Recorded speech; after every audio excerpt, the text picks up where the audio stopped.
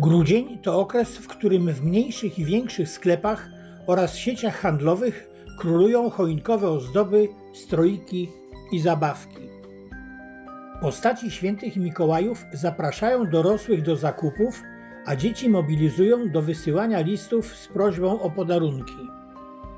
I choć na półkach jest kolorowo jak w innych latach, na tegorocznym Bożym Narodzeniu będzie ciążyła pandemia koronawirusa, pozbawiająca nas tej corocznej, świątecznej i radosnej, rodzinnej atmosfery.